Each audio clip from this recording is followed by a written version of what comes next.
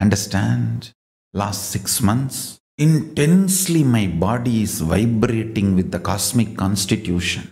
Even I was wondering why all this great knowledge is getting downloaded through this body. The cosmic constitution, the cos, cos the constitution of the cosmos. How the cosmos is supposed to function. The software of the cosmos, Vedagamas, is vibrantly getting revealed in this body by Paramashiva. Now I realize he is reviving Kailasa. He is really up to something. He is really up to something great. That's all I can say.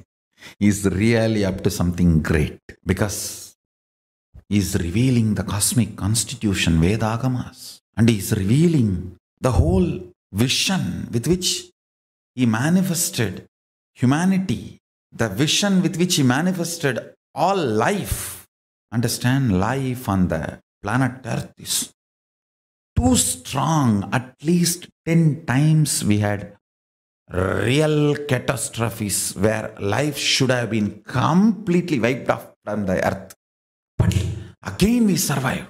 Some DNA gets into a rock, gets thrown into the space. After a million year, again comes back to planet Earth in some form and again starts. I tell you how this whole cycle happens is unimaginable. But one thing I can tell you life on the planet is too powerful and strong, and Paramashiva is revealing very purpose, is revealing very purpose in the form of cosmic constitution. I'm just seeing how he is manifesting every step not just Vimana Shastra are connecting with Gandharvas, Yaksha, Rakshasa, Bhuloka, Pathala, Swarloka.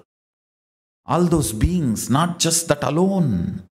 I could see how the life is present in the center of the cosmos and how the oneness is the fundamental principle of this cosmic constitution. That's a spine. If you just bring the oneness to your intellectual understanding and your inner cognition, apply that in every aspect of your life, relationships, health, even if you have a simple headache, apply oneness as the first solution.